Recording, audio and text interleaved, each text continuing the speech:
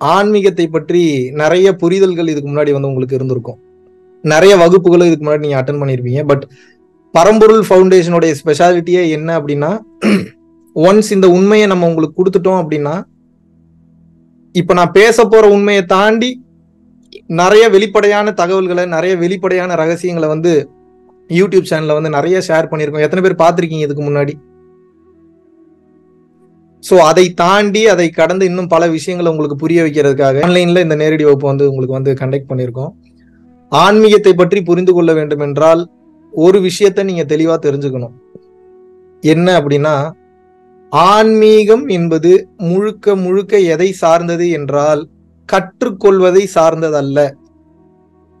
நீங்கள் கற்றுக்கொண்ட விஷயத்தை எல்லாம் மறப்பதற்கு பேர் தான் உண்மையான ஆன்மீகம். ஏன்? குழந்தையாக பிறக்கும் போது எனர்ஜி லெவல் ஒரு மாதிரி இருக்குது. ஹை லெவல்ல பீக் ஆஃப் த எனர்ஜி இருக்கு.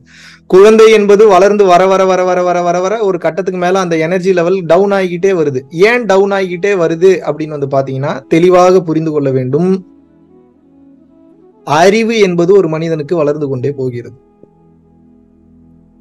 எப்போது ஒரு மனிதனுக்கு அறிவு என்பது வளர ஆரம்பித்து விடுகிறதோ அறிவு அவசியம்தான் பட் அறிவை விட அற்புதமான விஷயம் இறைவன் என்பதை உணர்வதற்காக தான் உங்களுக்கு அந்த அறிவு கொடுக்கப்பட்டிருக்கு.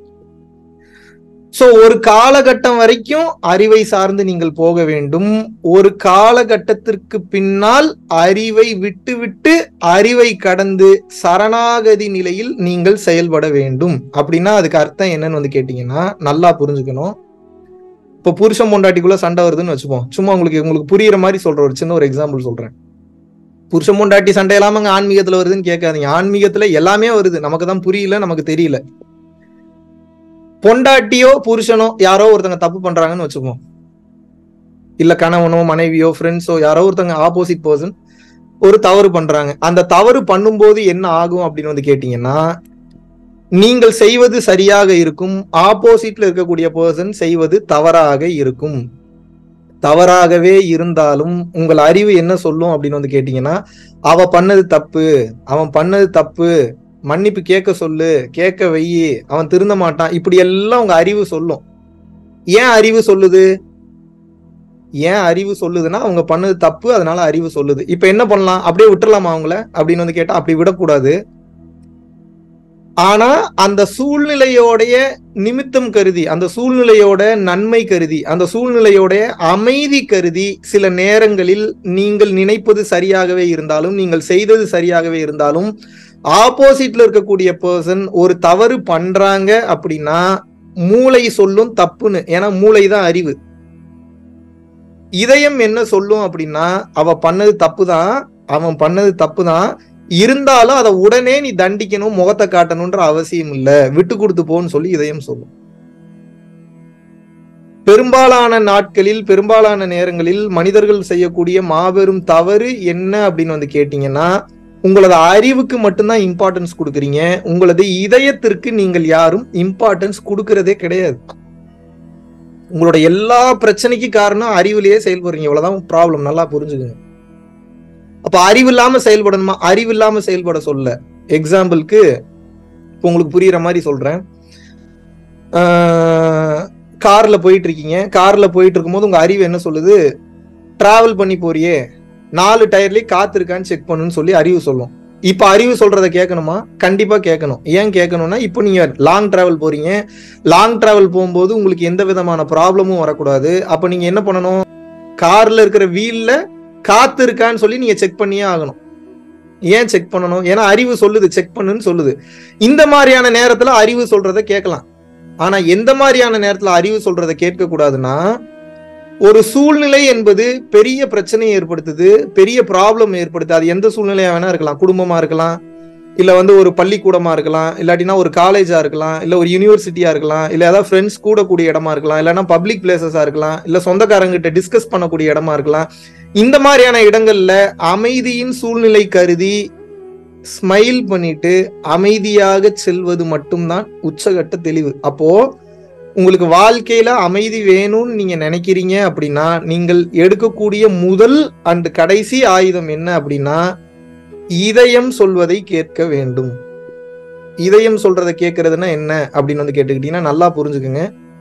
சரியாகவே இருந்தாலும் சில நேரங்களில் நான் செஞ்சதுதான் தப்புன்னு சொல்லி ஏத்துக்கொள்ளக்கூடிய அந்த பக்குவம்.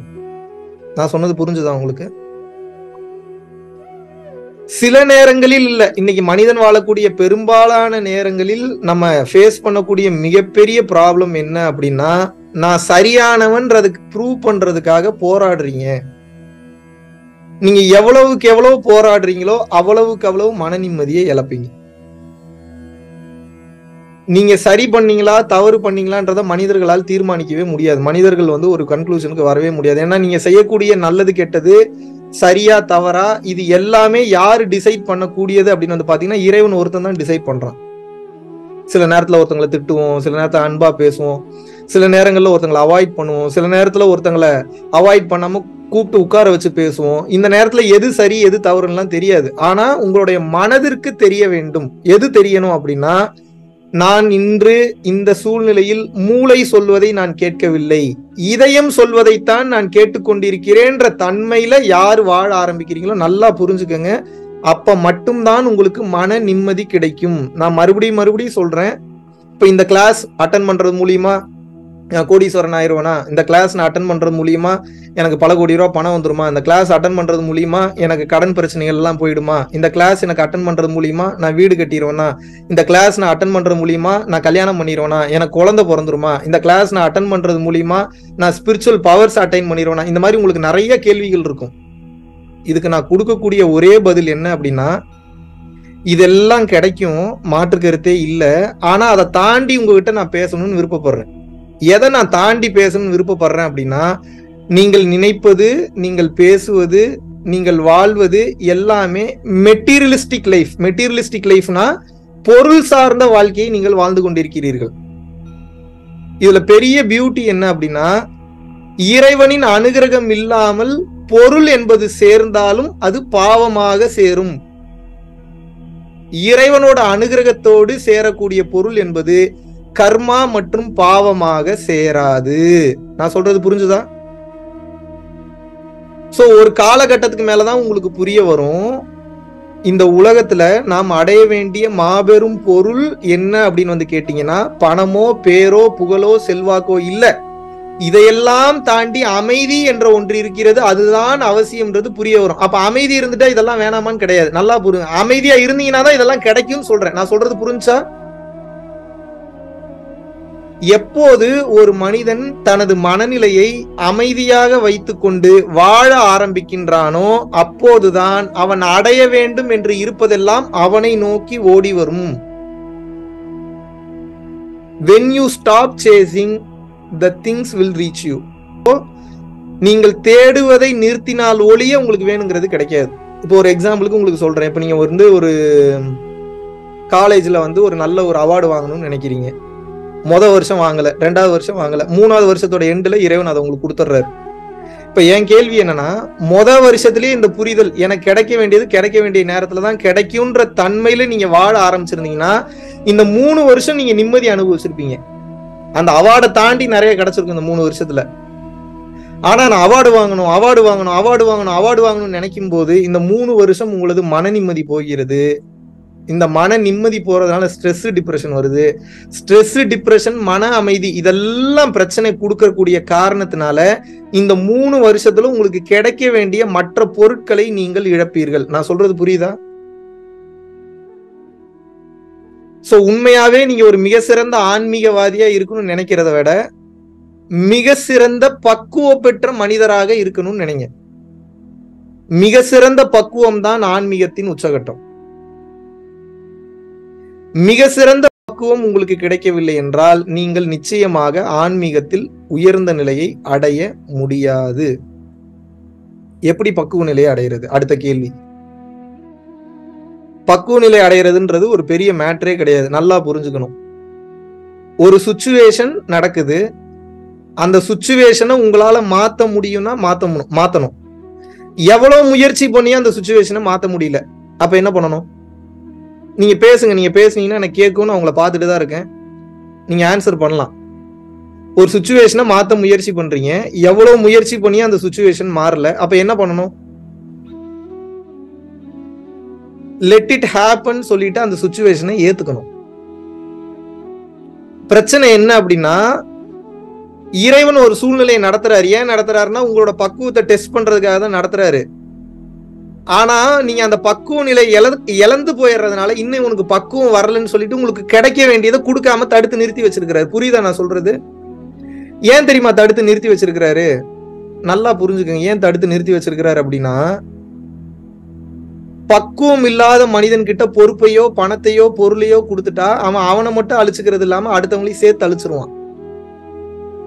நீங்க எப்படி இறைவனை நோக்கி பயணம் பண்ணி போயிட்டு இருக்கீங்களோ அதே போல உங்க அப்பா அம்மா தம்பி தங்கச்சி எழுத்து வீட்டுக்காரங்க ஃப்ரெண்ட்ஸு எல்லாருமே வந்து இறைவன் நோக்கி டிராவல் பண்ணிட்டு போயிட்டு இருக்காங்க இப்போ நீங்க அவங்க பாதையிலயும் நீங்க பிரச்சனையை ஏற்படுத்துறீங்க அப்படின்னு தெரிஞ்சதுன்னா இறைவன் உங்களுக்கு கொடுக்க வேண்டிய பிளஸ்ஸிங்ஸை கொடுக்க மாட்டார். இதுக்கு முன்னாடி ஆன்மீகத்துல பல பேர் பல விதமா உங்களுக்கு சொல்லி கொடுத்துருப்பாங்க. என்ன பணம் பேரு புகழ் காசு இதெல்லாம் வ- வரும். அது அப்படி இல்லை அது அப்படி வராது. உண்மையை உணர வேண்டும் என்றால் எதுவுமே எனக்கு கிடைக்கலனாலும் பரவாயில்ல. எனக்கு கிடைக்க வேண்டியது கிடைக்க வேண்டிய நேரத்தில் கரெக்டாக கிடைக்கும். அது வரைக்கும் இந்த பாதையிலிருந்து நான் வழி மாறி செல்ல மாட்டேன் என்ற நோக்கத்தோடு யார் பயணம் பண்றீங்களோ அவங்களுக்கு மட்டும்தான் இந்த அரிய வகை பொருள் கிடைக்கும். இந்த அரிய வகை பொருளுக்கு பேர் என்ன அப்படின்னா இறைவன். நீங்கள் தேடி போகக்கூடியது ஆன்மீகத்துல பணமோ காசோ பேரோ புகழோ இல்லை. இதெல்லாம் வந்து என்னன்னா சின்ன மீன். சின்ன மீன்னா என்ன? நல்லது மாதிரி தெரியும். கண்ணுக்கு தெரியும் என்ஜாய் பண்ற மாதிரி இருக்கும் பட் இது எதுவும் உண்மை கிடையாது. நல்லா இன்னைக்கு ஒரு விஷயத்த சொல்றேன் நல்லா புரிஞ்சுக்குங்க. இன்னைக்கு காலையில எட்டு மணிக்கு எந்திரிக்கிறீங்கன்னு வச்சுப்போம் ஒரு எக்ஸாம்பிளுக்கு நைட்டு தூங்க போகும்போது மணி வந்து பத்து. ஸோ காலையில எட்டு மணிக்கு எந்திரிச்சு நைட்டு பத்து மணிக்கு தூங்க போறீங்க ஒரு எக்ஸாம்பிளுக்கு சொல்றேன். ஒவ்வொரு நாளும் இப்படி நடக்கும். டிஃப்ரெண்ட் டிஃப்ரெண்டா டிஃப்ரெண்ட் டிஃப்ரெண்டா டிஃப்ரெண்ட் டிஃப்ரெண்டா டிஃப்ரெண்ட் டிஃப்ரெண்டா சூழ்நிலைகள் இந்த எட்டு மணில இருந்து பத்து மணிக்குள்ள நடக்கும் உங்களுக்கு. இதுல யார் இறைவனோட அனுகிரகத்தை பெறுவாங்க அப்படின்னு வந்து பாத்தீங்கன்னா எப்பேற்பட்ட சூழ்நிலை வந்தாலும் அந்த சூழ்நிலையில எப்படி உங்க மனச நீங்க அமைதியா வச்சுக்கணும் கத்துக்கிட்டீங்கன்னா போதும் நீங்க இறைவனோட அனுகிரகத்தை பெற்றுட்டீங்கன்னு அர்த்தம். இதுக்கு பேர் தான் சரணாகதின்னு சொல்றாங்க. சரண்டர்னு சொல்றாங்க அமைதி நிலைன்னு சொல்றாங்க பக்குவ நிலைன்னு சொல்றாங்க ஆனந்த நிலைன்னு சொல்றாங்க. ஏன் அப்படின்னா எனக்கு கிடைச்சது சரியா தான் இருக்கு எனக்கு கிடைச்சது போதுமான லெவல்ல இருக்கு இது எனக்கு மிகவும் கம்ஃபர்டபுளான சுச்சுவேஷனில் இருக்கு எனக்கு கிடைச்சதை வச்சு நான் தன்னிறைவு அடைந்து விட்டேன் என்ற மனநிலையில் இருப்பவர்கள் தான் பக்குவம் பெற்ற ஆன்மாக்கள்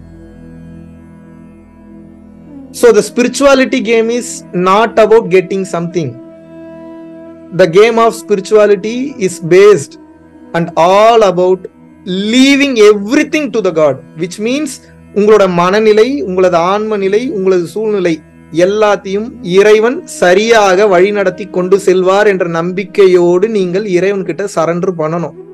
அந்த இறைவனுக்கு பேர் நீங்க என்ன வேணாலும் வச்சுக்கோங்க. அல்லான்னு வச்சுக்கோங்க. சிவபெருமான்னு வச்சுக்கோங்க. பெருமாள்னு வச்சுக்கோங்க.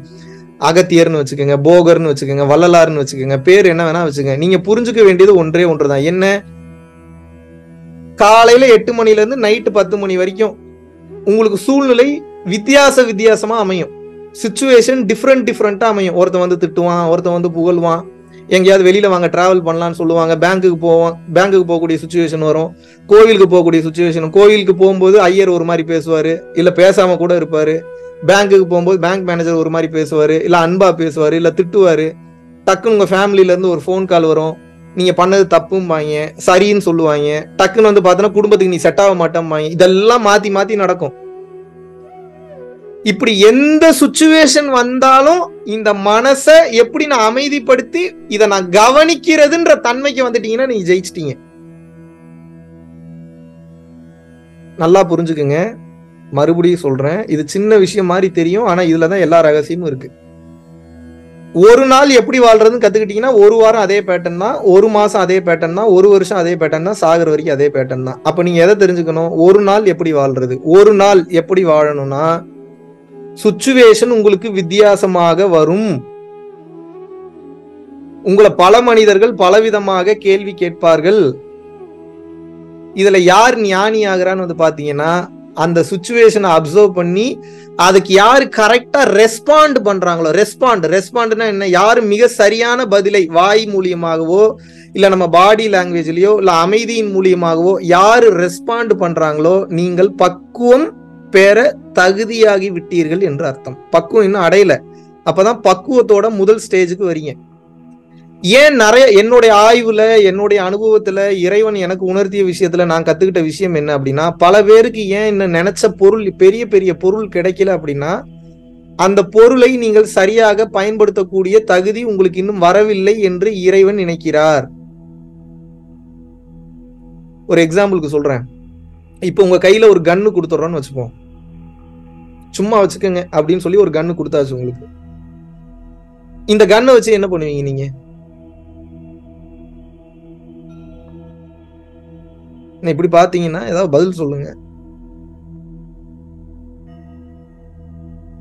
பத்திரமா வீட்டுல வச்சுப்பீங்களா நீங்க? பத்திரமா நான் வந்து பீரோல பூட்டி வச்சுக்கிறேங்க. ட்ரங்க் பெட்டியில போட்டு பூட்டி வச்சுருங்க என்ன பண்ணுவீங்க? ரெண்டு நாள் பூட்டி வைப்பீங்க மூணு நாள் பூட்டி வைப்பீங்க ஒரு வாரம் பூட்டி வைப்பீங்க. ஒரு வாரம் கழிச்சு தோணும். யார் இல்லாத இடத்துல போய் சுட்டு பார்க்கலான்னு தோணும். தோணுமா தோணாதா? அப்புறம் எடுத்துட்டு யார் இல்லாத இடத்துல போய் சுட்டு பார்ப்பீங்க. அப்புறம் ஒரு நாலு நாள் அஞ்சு நாள் கண்டினியூவா போய் யார் இல்லாத இடத்துல போய் சுட்டு மாத்தி மாத்தி பார்ப்பீங்க. ஆறாவது நாள் தோணும். சரி யார் இல்லாத இடத்துலயே சுட்டு பார்க்குறோம். சரி இது இது இன்னொருத்தவங்க உயிரை எடுத்தா எப்படி இருக்குன்னு பார்ப்போம். ஆனா கோர்ட்டு கேஸ்னு உள்ள போயிருமே கொலை கேஸ் உள்ள போயிருமேன்னு சொல்லி ஒரு நாயை சுட்டு பார்ப்போம். ஒரு புறாவை சுட்டு பார்ப்போம் ஒரு மயிலை சுட்டு பார்ப்போம் ஒரு குயிலை சுட்டு பார்ப்போம்னு சுட்டு பார்ப்பீங்க. செத்துருச்சுன்னா பரவாயில்ல இதுக்கு இவ்வளவு பவர் இருக்கா? சரி ஓகே அடுத்து என்ன பண்றது? இன்னொரு ஆளை போட்டு தள்ளுனா எப்படி இருக்குன்னு பார்த்து அப்படி உங்க மைண்ட்ல இருக்கும் ஆனா அது தப்புன்னு தெரியும். இது எப்போ உக்கிரமா மாறும்னா எப்பயாவது எக்ஸ்ட்ரீம் டிப்ரெஷன் எக்ஸ்ட்ரீம் டிப்ரெஷன் வந்துருச்சு அப்படின்னா அந்த ஸ்ட்ரெஸ் அதிகமாகிறப்ப என்ன பண்ணுவீங்கன்னா ஒன்னு எடுத்து நீங்களே சுட்டுப்பீங்க ஆப்போசிட்ல இருக்கிறவனு முடிச்சு கட்டிடுவீங்க. அப்படிதானே? பண்ணுவீங்களா மாட்டீங்களா? டூ ஹண்ட்ரட் பர்சன்ட் பண்ணுவீங்க. எப்படி பண்ணாம இருப்பீங்க? அப்போ கன்னை கொடுக்கக்கூடிய போலீஸ்க்கே தெரியுது. பக்குவம் இல்லாதவன்ட்ட கன்னை கொடுக்க கூடாதுன்னு எஸ் ஆர்னோ நீங்க கேக்குறது என்ன கேக்குறீங்க? இறை பொருளை கேக்குறீங்க. இறை பொருள்ன்றது என்ன? உங்களால சகலத்தையும் செய்ய முடியும். சகலமுன்னா என்ன? ஒரு உயிரை உருவாக்க முடியும் ஒரு உயிரை அழிக்க முடியும் ஒரு ஒரு உயிரை கைகால் விளங்காம போக வைக்க முடியும். இன்னும் நீங்க நினைச்சு பார்க்க முடியாத பெரிய பெரிய விஷயங்கள்லாம் இந்த பவரை வச்சு உங்களால செய்ய முடியும். இப்படி செய்ய முடியறப்ப என்ன ஆகும் அப்படின்னா சும்மா ட்ரை பண்ணி பார்ப்போம் ட்ரை பண்ணீங்கன்னா இன்னொருத்தன் வாழ்க்கை முடிஞ்சு எஸ் ஆர்னோ அப்ப இறைவன் உங்ககிட்ட கேட்கக்கூடிய முதல் விஷயம் கொடுக்கறதுக்கு நான் தயார். வாங்கிக்கிற தகுதி உனக்கு இருக்கா? அதைத்தான் கேட்கிறார்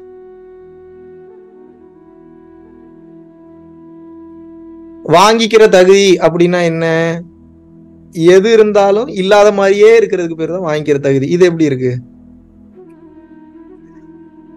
பொண்ணு இருக்கும் பொருள் இருக்கும் பெண் இருக்கும் ஆண் இருக்கும் நல்லது இருக்கும். சில நேரத்துல பவர்ஸும் இருக்கும் அட்டமா சித்துக்கள் இருக்கும். இருந்தாலும் ஒண்ணும் தெரியாத மாதிரியே இருக்கணும். எனக்கு என்னங்க தெரியும்? இந்த பக்குவம் வந்துருமா? இந்த பக்குவத்துல இருக்க இருக்க இருக்க இருக்கதான் நீங்கள் எதிர்பார்க்காதது அனைத்துமே உங்களுக்கு கிடைக்கும். இறைவனுடைய உண்மையான சக்தி எப்போ புரிய வரும் அப்படின்னா நல்லா புரிஞ்சுக்கோங்க. பக்குவம். அந்த பக்குவம் மெடிடேஷன் பண்ணா வருமா? வராது. மெடிடேஷன் பண்ணா அப்ப என்ன வரும்? பவர் தான் வரும். அப்ப மெடிடேஷன்ல பவர் எடுத்துக்கணும். புரிதல்ல பக்குவத்தை எடுத்துக்கணும். புரிதல்னா என்ன? இப்ப இஸ்ரேல்லையும் காசாலையும் வார் நடக்குது. நடக்குதா? நடக்கலையா?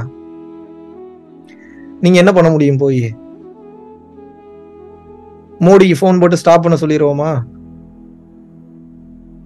மோடி ஸ்டாப் பண்ணுவாரா? இல்லை இஸ்ரேல் பிரதமருக்கு ஒரு ஃபோனை போட்டு இந்த வடிவேல சொல்லுவாங்கல்ல இருங்கடா வர வர லேட் ஆகிட்டே போறீங்களடா. போக்குவரத்து துறை அமைச்சருக்கு ஒரு ஃபோனை போட்டு ஒரு ஆட்டு ஆட்டினா தாண்டா அவங்களுக்குலாம் தெரியுன்ற அவனுக்கு பீடி குடிக்கிற கூட வழி இருக்காது. ஆனால் அவன் பேசுறத பாருங்க. போக்குவரத்து துறை அமைச்சருக்கு ஃபோனை போட்டு எதுக்கு பஸ் பத்து நிமிஷம் லேட்டாக வந்ததுக்கு? தெரியுமா தெரியாது? அந்த ஜோக் பார்த்துருக்கீங்களா இல்லையா? இப்ப நம்ம அப்படித்தான் ஃபீல் பண்ணிட்டு இருக்கிறோம். நம்மளால இன்னும் நம்ம குடும்பத்தையும் இன்னும் சரியா பார்க்க முடியல. நம்மள இன்னும் நம்மளால டேக் கேர் பண்ணிக்க முடியல. கொஞ்சம் வெளிப்படையா தான் இருக்கும். கொஞ்சம் ஓப்பனா பேசும் கொஞ்சம் குத்தும் கொடையும் வலிக்கும் ஏத்துக்குங்க. அப்பதான் உங்களால புரிஞ்சுக்க முடியலன்னா புரிஞ்சுக்க முடியாது இந்த உண்மையை. ஒரு காலகட்டத்துக்கு மேல என்ன ஆயிடுச்சு அப்படின்னா நம்மளையா நம்மள நம்மள நம்மளே டேக் கேர் பண்ணிக்க முடியல. நம்மள சார்ந்தவங்களையும் டேக் கேர் பண்ணிக்க முடியல. நம்ம இஸ்ரேல் காசா வார பத்தி யோசிச்சுட்டு இருக்கோம். பிரதமர் அப்படி பண்ணியிருக்க கூடாது. ஹமாஸ் படையினர் என்ன இருந்தாலும் ஐயாயிரம் ராக்கெட்டுகளை ஏவி இருக்க கூடாது. நம் அறிவுக்கு நம் தகுதிக்கு எவ்வளவு முடியுமோ அவ்வளவுதான் நம்ம கண்ட்ரோல்ல இருக்கின்ற பக்குவ நிலை முதலில் உங்களுக்கு வர வேண்டும். நம் தகுதிக்கு மீறின விஷயங்கள் நம்ம கையை மீறி போகுதுன்றப்போ அது நமக்கானது இல்லைன்னு சொல்லி ஃப்ரீயா விட்டுட்டீங்கன்னா மனம் அமைதி பெற்றோம் ஆனா நீங்க என்ன நினைக்கிறீங்கன்னா மனிதனால முடியாத விஷயம் எதுவுமே கிடையாதுன்னு சொல்லி போராடிட்டு இருக்கீங்க. இப்ப இப்ப மனிதனால முடியாத விஷயம் எதுவும் கிடையாது தானே நான் இல்லைன்னு சொல்லல. ஆனா அதுக்கு என்ன முயற்சி நம்ம எடுத்தோம்? இப்ப எல்லாருக்கும் சீஃப் மினிஸ்டர் ஆகணும்னு ஆசை தான். சீஃப் மினிஸ்டர் ஆகுறதுக்கு அரசியலை பத்தி உங்களுக்கு என்ன தெரியும்? உள்கட்சி பூசலை பத்தி என்ன தெரியும்? மக்களுக்கு சேவை செய்யறத பத்தி என்ன தெரியும்? இந்தியன் கான்ஸ்டியூஷனல் லாவை பத்தி என்ன தெரியும்? அமைச்சர்களை பத்தி என்ன தெரியும்? எதுவுமே தெரியாம நான் சீஃப் மினிஸ்டர் மட்டும் ஆகணும். இந்த இப்படி ஒரு ஆசை மட்டும் இருந்தா சீஃப் மினிஸ்டர் ஆயிரலாமா? இதைத்தான் இறைவன் கேட்கிறாரு என்ன கேட்கிறாருன்னா ஏன்டா எல்லாத்துக்கும் ஆசைப்படுற? நான் கொடுக்கறதுக்கு தயார் நிலையில இருக்கிறேன். ஆசைப்படுறதுக்கு தகுந்த அந்த பக்குவ நிலை உன்னிடம் இருக்கிறதா? என்று இறைவன் கேட்கின்றார்.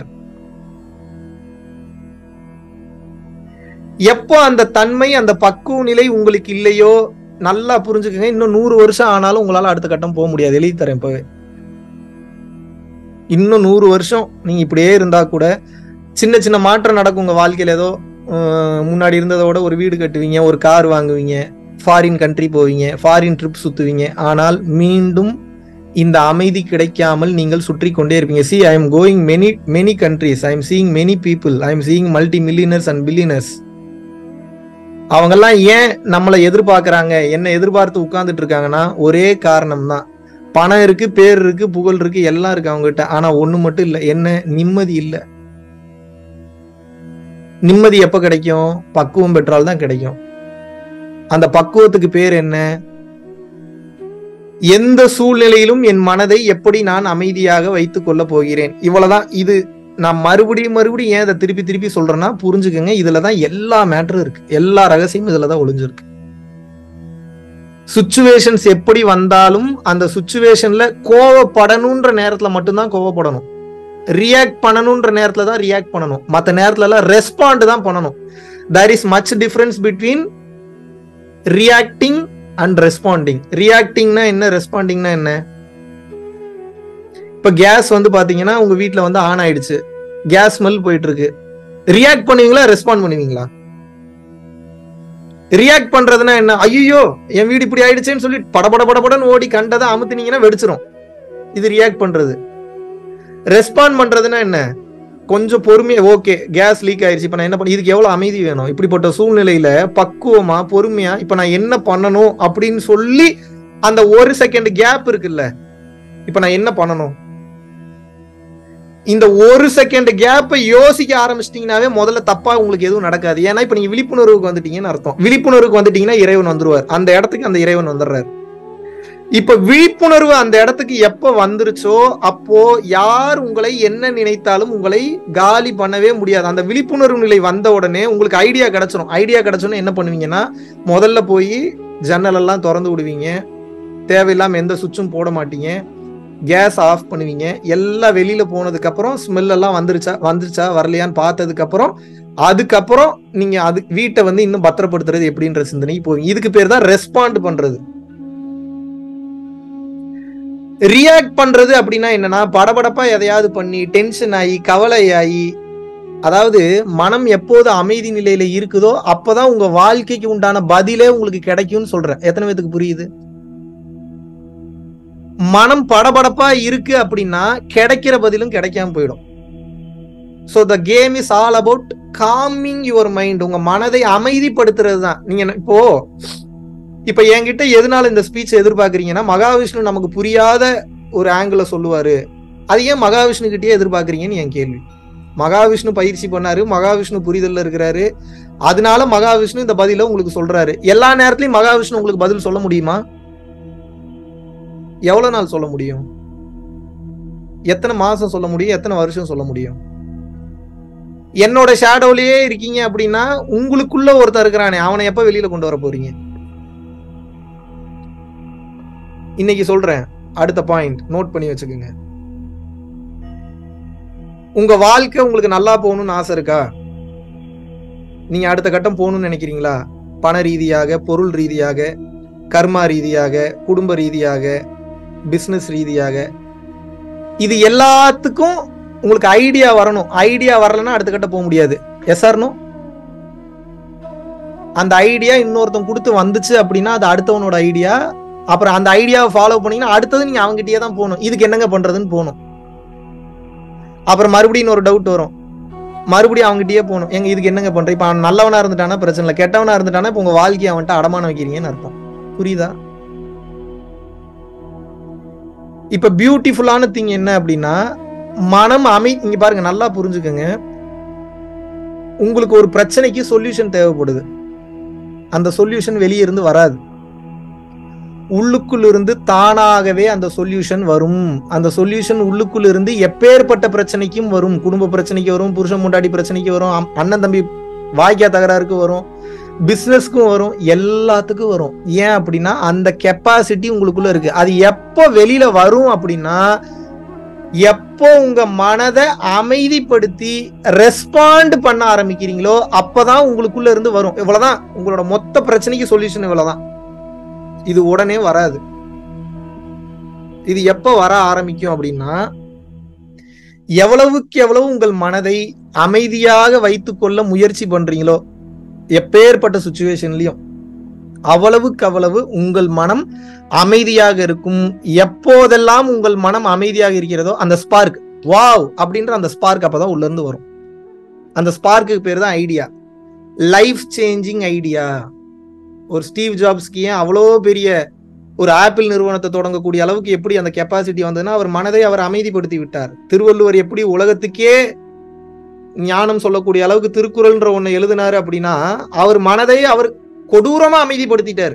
அதனாலதான் ஞானம் உள்ள இருந்து வெளியில ஃப்ளோ பீறிக்கிட்டு வரும். நீங்க நினைச்சு பார்க்க முடியாத அளவுக்கு வரும். பாரதியார் எப்படி அத்தனை கவிதைகள் எழுதினார்? இதெல்லாம் அவருக்குள்ளதான் இருக்குன்னு இல்லை எல்லாத்துக்குள்ளயும் இருக்கு. அ- யாரெல்லாம் அவர்களது மனதை அமைதிப்படுத்தி விடுகிறீர்களோ அவங்களுக்கெல்லாம் ஐடியா உள்ளுக்குள்ள இருந்து தானா வருங்க. இவ்வளவுதாங்க கான்செப்ட்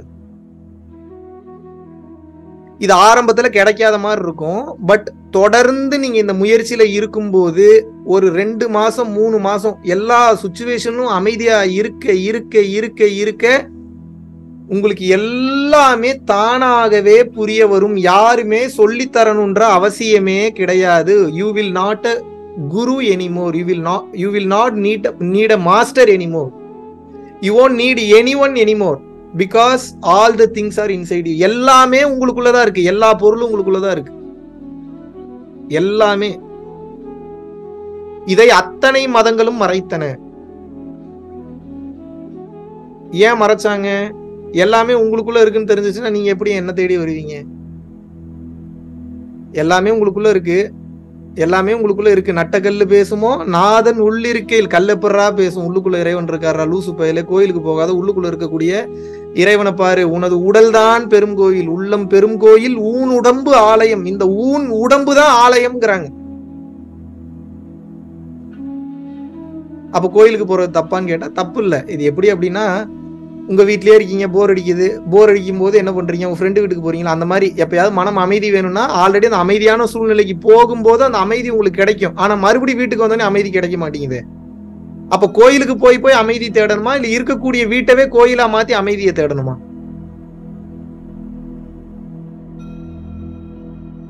வாழ்க்கையில பெரிய இடத்துக்கு நீங்க போகணும்னு நினைச்சீங்கன்னா முதல் and last trick first and last secret first and last உபதேசம் ஒன்னே ஒண்ணுதான்.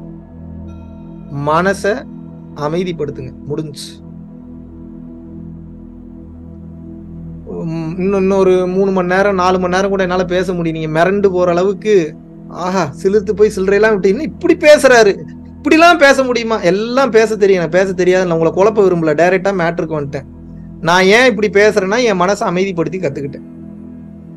எனக்கும் சில நேரத்துல ஒரு பஞ்சாயத்து வரும். எனக்கும் சில நேரத்துல பக்கத்துல இருக்க நீ பண்றது தப்பு. நீ சுயநலவாதியா இருக்க. நீ ஒரு மென்டல் நீ ஒரு சைக்கோ என்னையும் தான் சொல்றாங்க. நான் எப்படி இருக்கேன்? அப்படிங்களாங்க. சரிங்க சரிங்க. நான் கொஞ்சம் கொஞ்சமா மாத்திக்கிறேங்கன்றேன் இப்ப நான் அமைதி ஆயிட்டேனா இல்லையா? ஏன்னா எனக்கு தெரியும் நான் என்ன பண்றேன்றது எனக்கு தெரியும். அப்ப நான் எல்லாத்துக்கும் இது பதில் கொடுக்கணுன்ற அவசியம் இல்லை. அந்த நேரத்துல அந்த ஆட்களுக்கு என்னால் பேசி புரிய வைக்க முடியாதுன்னு தெரிஞ்சதுனால நான் என்ன பண்ணிக்கிறேன்? நான் என்னை அமைதிப்படுத்தி கொள்கிறேன். எப்போது நான் என்னை அமைதிப்படுத்தி கொள்கின்றேனோ அந்த பிரச்சனையிலிருந்து வெளியே வந்துட்டேன். இங்க உள்தன்மையிலும் எனக்கு பாதிப்பு இல்லை. இறைவனின் அனுகிரகத்தையும் பெற்றுட்டேன். எனக்கு இப்ப ஞானத்துல ஒரு பதிலும் கிடைச்சிருச்சு. எத்தனை இது புரியுது? ஏன் இன்னும் உங்களால இதுல அடுத்த கட்டம் போக முடியல அப்படின்னா சுச்சுவேஷன்ல பதட்டப்படுறீங்க. புருஷன் சரியில்லையா? படார்னு பேசிடுறீங்க. பொண்டாட்டி சரியில்லையா? படார்னு திட்டிடுறீங்க. குழந்தை ஒரு ஒரு ஒரு விஷயம் சொல்றதை கேட்க அது எப்படி கேட்கும்? நீங்க கேட்டீங்களா? உங்க சின்ன வயசுல உங்க அப்பா அம்மா சொன்னதை கேட்டீங்களா? எப்படி உங்க புள்ள மட்டும் நீங்க சொல்றதை கேட்கும்? நம்மளே கேட்கல சரி நம்ம நம்ம அப்பா அம்மா அவங்க அப்பா அம்மா சொன்னதை கேட்டாங்களா? கேட்ட மாதிரி நடிச்சிருப்பாங்க. ஆனா கேட்டிருக்கோமா? நல்லா யோசிங்க. நம்ம கேட்குறமா கேட்கற மாதிரி நடிக்கிறோமா? கேட்கற மாதிரி நடிப்போம். ஆனா கேட்க மாட்டோம். ஏன்னா அவன் அவனுக்குன்னு ஒரு அறிவு இருக்குல்ல அதான் சரியாகவும் இருக்கும் என்ற நம்பிக்கை. அது தப்பு இல்லை அப்ப எப்படி உங்க குழந்தை மட்டும் நீங்க சொல்றது கேட்கும் ஓரளவு கேட்கும் ஃபுல்லாலாம் கேட்காது. எஸ்ஆர்னோ உங்க எல்லா பிரச்சனைக்கும் ஒரே மாத்திரை தான் பேராசிட்டமால் போட்டுடலாமா விக்ஸாக்ஷன் ஃபைவ் ஹண்ட்ரட் இல்ல ஒரு பத்து தூக்கு மாத்திரை போட்டு படுத்துருவோமா? குருஜியே சொல்லிட்டாப்புல ஒரு பத்து மாத்திரையை போட்டு படுத்துருவோம். ஒரு மாத்திரை போட்டீங்கன்னா தூக்கம் வரும். பத்து மாத்திரை போட்டா தூக்க ஆள் வரும். தெரியுமா தெரியாதா?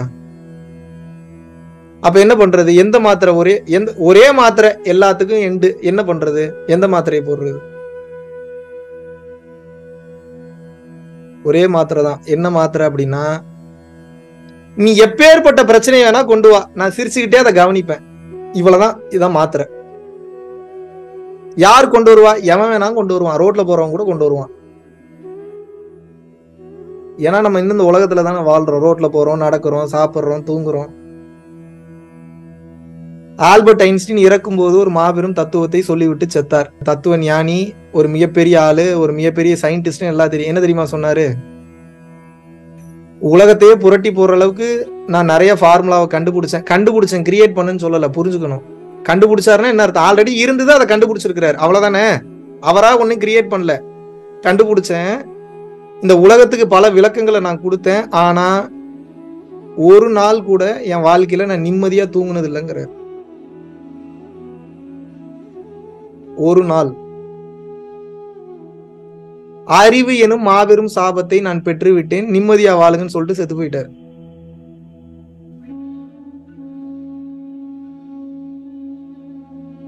இப்ப அவருக்கு இருக்கிற அறிவுக்கு அவருக்கு இருக்கிற நாலேஜுக்கு எத்தனையோ ஃபார்முலாவை கிரியேட் பண்ணாரு.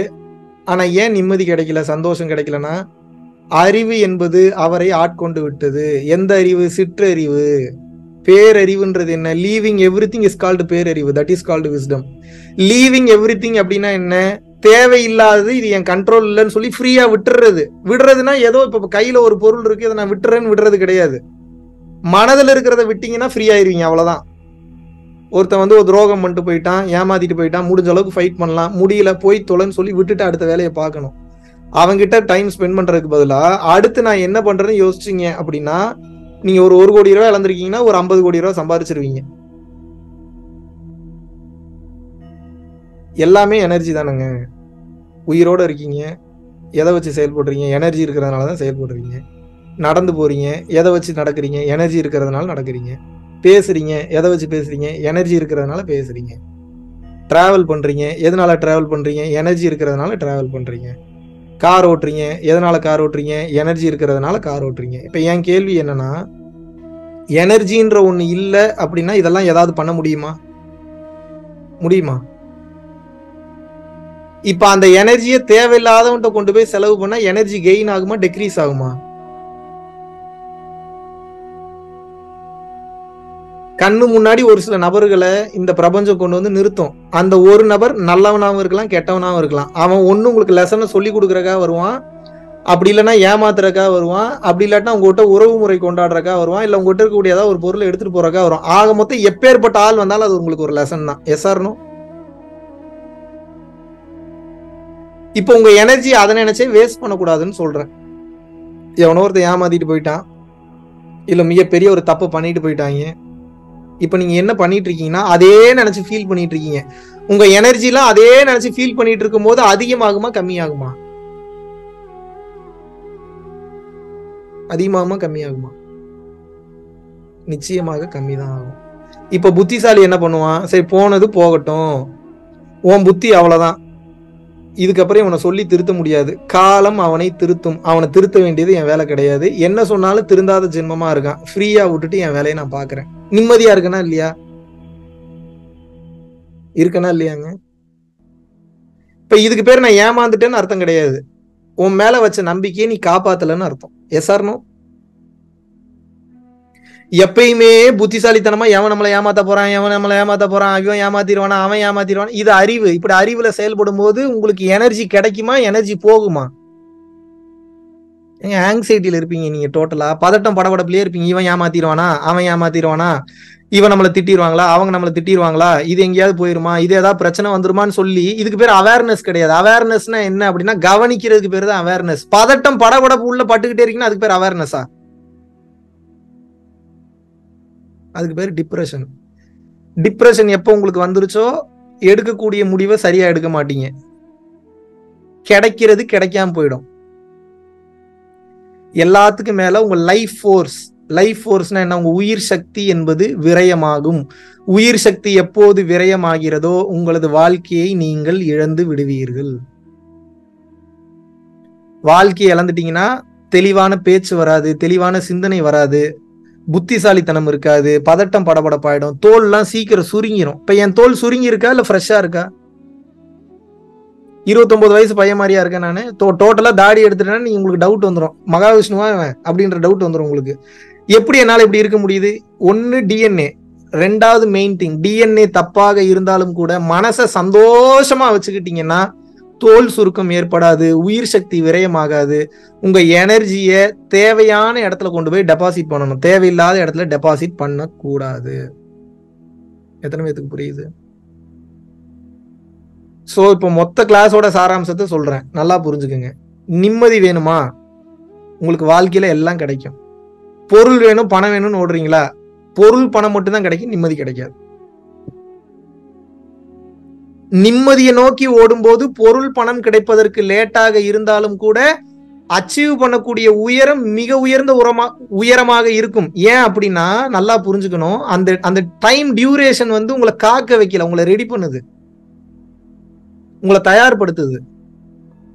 இப்ப பிரச்சனை என்ன ஆயிடுச்சு அப்படின்னு வந்து கேட்டீங்கன்னா நம்பிக்கை உங்கள் மீதும் உங்களுக்கு போய்விட்டது. இறைவன் மீதும் போய்விட்டது. ஏன்னா வாழ்க்கைனா என்னன்றதே புரியல. இன்னொருத்தரை தேடி தேடி நாம் ஓட ஆரம்பிக்கின்றோம். தயவு செய்து நான் சொல்லி கொடுக்குற விஷயத்த நீங்க மட்டும் புரிஞ்சுக்காம தெரிஞ்சுக்காம உங்களை மாதிரி கஷ்டப்படுற எல்லாத்துக்கும் சொல்லி கொடுங்க. உனக்கு என்ன பதில் வேண்டும்னாலும் அந்த பதில் உனக்குள்ளேயே இருந்து பிறக்கும். அது எப்போ பிறக்கும்னா வேகமா ஓடிட்டு இருக்கக்கூடிய மைண்ட் எப்போ ஸ்லோ டவுன் ஆகுதோ அப்போ மேஜிக்கலா உள்ளுக்குள்ள இருந்து வெளியே வரும். எங்க இறைவனே உள்ளுக்குள்ள இருக்கிறாருங்கிறேன் பூர்வ மத்தியத்துக்குள்ள. உச்சிக்கு கீழடியோ அண்ணாவிற்கு மேலே வைத்த விளக்கு நித்தமும் எரியுதடி வாழைப்பேன்ன்ற மாதிரி இறைவனே உள்ள இருக்கிறாரு. இறைவனுக்கு ஐடியா தெரியுமா தெரியாதா? உங்க வாழ்க்கையை வாழ வைக்கிறக்கு உண்டான ஐடியா தெரியுமா தெரியாதா? உங்க பிசினஸ்க்கு உண்டான டாக்டிக்ஸ் அவருக்கு தெரியுமா தெரியாதா? உங்க குடும்பத்தை எப்படி நல்லா கொண்டு போறதுக்குன்றான அந்த ஐடியா தெரியுமா தெரியாதா? எல்லாம் தெரியும். பட் ஏன் அது வரமாட்டேங்குதுன்னா அந்த ஆன்மா ஃப்ரெஷ்ஷாக இருந்தால் தான் அந்த ஐடியாவை கொடுத்துக்கிட்டே இருக்கும். அதை சுற்றி வேற எதுவும் தேவையில்லாத அழுக்குகள் இருக்கக்கூடாது. இப்போ அந்த ஆன்மாவை சுற்றி தேவையில்லாத படலம் இருக்கிறதுனால அது அதனுடைய பிரகாசத்தன்மையை இழந்திருக்கிறது. எப்போது அதன் அதனுடைய பிரகாசத்தன்மை இழந்திருக்கிறதோ உங்களுக்கு வேணுங்கிற ஐடியா கிடைக்காது. அப்போ இத்தனை வருஷம் கிடைச்ச ஐடியாலாம் வேலைக்காகாத ஐடியான்னு அர்த்தம். அதெல்லாம் எதுக்கு அப்படின்னா உங்களை இம்ப்ரூவ் பண்ணிக்கிறக்காக அவ்வளோதான் பட் அது மெட்டீரியலைஸ் ஆகி உங்கள் கைக்கு வந்து அது ஒரு ப்ராடக்டாக வரணும். அது உங்களுக்கு நல்ல ரிசல்ட்டாக வரணும் அப்படின்னா உங்களுக்கு மன அமைதி ஒன்று மட்டும்தான் வழி. மனம் சாந்தி நிலைக்கு எப்போதெல்லாம் செல்கின்றதோ அப்போதெல்லாம் உங்களுக்கு வேண்டுங்கிற பொருள் கிடைக்கும். இப்போ அடுத்த கட்டம் சொல்கிறேன் இப்போ ஒரு கட்டத்துக்கு மேலே இப்போ நான் சொல்கிறத புரிஞ்சுக்கிட்டு மன அமைதிக்கு நீங்கள் ட்ரை பண்ணிடுவீங்க. மன அமைதி வரும்போது நிறைய ஐடியாஸ் வரும் நிறைய தெளிவு வரும் ஆன்மீக சக்தி வரும் நிறைய அருள் கிடைக்கும். அப்போ இந்த பூமியில வேணுங்கிற எல்லாத்தையும் அச்சீவ் பண்ண ஆரம்பிப்பீங்க. எல்லாத்தையும் அச்சீவ் பண்ணுவீங்க ஒவ்வொன்றா அச்சீவ் பண்ணுவீங்க அவங்க அவங்களுக்கு என்ன விதிக்கப்பட்டிருக்கோ அதெல்லாம் அச்சீவ் பண்ணுவீங்க. அச்சீவ் பண்ணும்போது மறுபடியும் மைண்டு ஓட ஆரம்பிக்கும் ஆசைகள்ல. மறுபடியும் ஸ்லோ டவுன் பண்ணணும். முதல்ல ஒண்ணுமே இல்லாம இருந்தீங்க. அதனால ஈஸியா ஸ்லோ பண்ணிட்டீங்க. இப்ப எல்லாமே கிடைக்கும். இப்பையும் ஸ்லோ பண்ணணும். ஒரு கட்டத்துக்கு மேல எல்லாம் கிடைக்க கிடைக்க கிடைக்க கிடைக்க மனம் அமைதியாக இல்லாம தறிகட்டு ஓட ஆரம்பிக்கும். அப்பையும் ஸ்லோ டவுன் பண்ணணும். ஒரு கட்டத்துல ஹேண்ட் பிரேக்கை போட்டு வண்டி நிப்பாட்டி ஆஃப் பண்ணிட்டீங்கன்னா முடிஞ்சு சமாதி முக்தி அடைஞ்சிட்டீங்கன்னு அர்த்தம். எத்தனை பேத்துக்கு புரியுது? ஓரளவுக்காவது புரிஞ்சுக்க முடியுதா நான் சொல்றது? இதுக்கு இந்த மார்க்கத்தில் இருக்கணும் இந்த மதத்தில் இருக்கணும் இந்த சாமியை கும்பிடணும்லாம் அவசியம் இல்லை. எந்த சாமி வேணாலும் வந்து ஹெல்ப் பண்ணும் உங்களுக்கு. ரோட்டில் போறீங்க ஒரு சித்தர் வராரு ஆசீர்வாதம் செய்கிறேன் பல கோடி ரூபாய் பெறுவார் அப்படின்னா உன் ஆசீர்வாதம்லாம் வேணான்ட்டு போயிருவீங்களா நீங்க? நீங்க கிறிஸ்டியானிட்டியில இருக்கீங்க இல்லை இஸ்லாம் மதத்தில் இருக்கீங்க. ரோட்ல எவனோ ஒருத்தன் போறான் அவன் சித்தர்னு கூட தெரியாது. நல்லா இருப்ப அப்படின்ட்டு போயிட்டாரு. நல்லா இருப்பேன்ட்டு போனோடனே நீங்க நல்லா ஆயிட்டீங்க. ஒரு ஒரு வாரத்துல பெரிய ஆளாயிட்டீங்க. வேணான்றீங்களா எல்லாத்தையும்? இப்படித்தான். வான் மார்க்கமாக நிறைய சித்தர்கள் வந்து பயணம் பண்ணிட்டு போயிட்டு இருப்பாங்க பக்குவம் பெற்ற ஆளா இருக்கீங்கன்னா அவங்களுக்கு நல்லா தெரியும். இறங்கி வந்து உங்க கண்ணுக்கே தெரியாம உங்களை பிளஸ் பண்ணிட்டு போயிடுவாங்க. நீ தூங்கும் போது பிளஸ் பண்ணுவாங்க நடக்கும் போது பிளஸ் பண்ணுவாங்க கார்ல இருக்கும்போது பிளஸ் பண்ணுவாங்க வண்டி ஓட்டிட்டு இருக்கும்போது பிளஸ் பண்ணுவாங்க. Even while you having sex they will bless you நீங்க அப்படி மட்டும் அவரை சாதாரணமா நினைக்க எந்த சூழ்நிலையில வேணாலும் வந்து பிளஸ் பண்ணிட்டு போவாங்க. அவங்க உங்களை பிளஸ் பண்ணணும் அப்படின்னா அதுக்கு முதல்ல தகுதியை வளர்த்துக்கணும். தகுதியை வளர்த்துக்கிறதுனா என்ன? மனதை அமைதிப்படுத்த எப்போது நீங்கள் முயற்சி செஞ்சீங்க அப்படின்ற அந்த பேட்டனை தான் எடுப்பாங்க. ஒன்ஸ் நீங்க மனசை அமைதிப்படுத்தக்கூடிய அந்த முயற்சி எடுக்கிறீங்கன்றது தெரிஞ்சிருச்சு அப்படின்னா இந்த ஆன்மா அதற்கு தகுதியாகி விட்டது என்று சொல்லி நீங்கள் கேட்கின்ற அனைத்தையும் உங்களுக்கு அவர்கள் கொடுத்து விடுவார்கள். இவ்வளவுதான் ரகசியம். உங்க கண்ணுக்கே தெரியாம நிறைய ஏஞ்சல்ஸ் இங்க சுத்திட்டு இருக்கு. ஏஞ்சல்ஸ் ஏஞ்சல்ஸ்னா என்ன? இறைவனின் தூதர்கள்னு அர்த்தம். இறைவனோட வேலைய செய்யறதுக்காக அவங்களோட ராஜாங்கம் கண்ணுக்கு தெரியாம நிறைய செயல்பட்டு இருக்கு. உங்க குலதெய்வம் இருக்கலாம் இல்ல வேற ஏதாவது ஏஞ்சல்ஸ் இருக்கலாம் இல்ல வேற ஏதாவது சிறு தெய்வம் இருக்கலாம் பெரிய தெய்வம் இருக்கலாம். இதெல்லாம் எப்போ உங்களுக்கு சப்போர்ட் பண்ண ஆரம்பிக்கும் அப்படின்னா அது கொடுக்குற மெசேஜை எப்போ நீங்க ரிசீவ் பண்ற கெப்பாசிட்டியில இருக்கீங்களோ அப்பதான் உங்களுக்கு பிளஸ் பண்ணி உங்களை நினைக்கிறவங்களுக்கு நல்லது ஏற்படுத்தக்கூடிய லெவலுக்கு உங்களை பெரிய ஆளா மாத்திரும். இது எப்ப நடக்கும்? மனம் அமைதி பெற்றாதான் நடக்கும் இல்லைன்னா நடக்காது.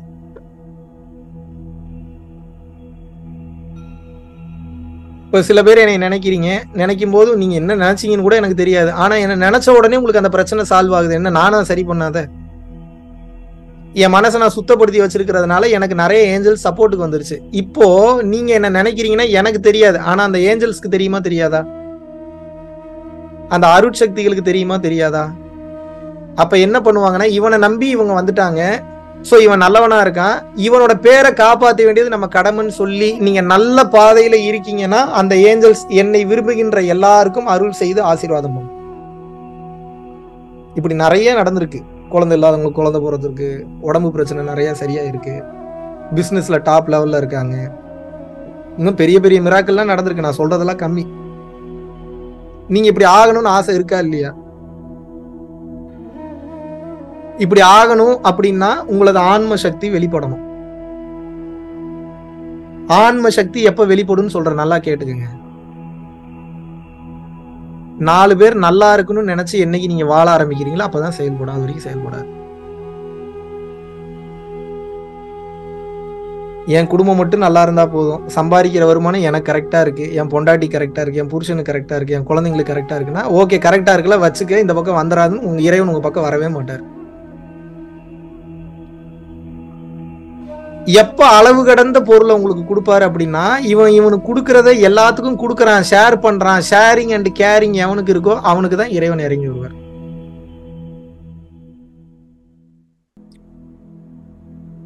இப்போ எனக்கு கிடைச்சது இல்லைன்னா எதனால கிடைச்சதுன்னா நான் எல்லாரும் நல்லா இருக்கும்னு நினைச்சனால எனக்கு கிடைச்சது. உங்களுக்கு எப்படி கிடைக்கும்? நீங்க என்ன மாதிரியே வாழுங்கன்னு சொல்ல. ஆனா முன்னாடி வாழ்ந்ததோட பெட்டரா வாழுங்கன்னு சொல்றேன்.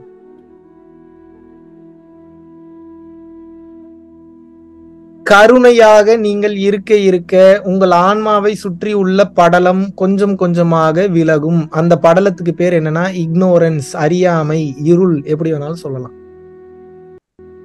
அந்த ஆன்ம சக்தி எப்போ வெளிப்படும் அப்படின்னு வந்து பாத்தீங்கன்னா எப்போ நீங்க இங்க பாருங்க இருபத்தி நாலு மணி நேரம் நீங்க கோயிலேயே உட்கார்ந்துருந்தா கூட அதெல்லாம் நடக்காது.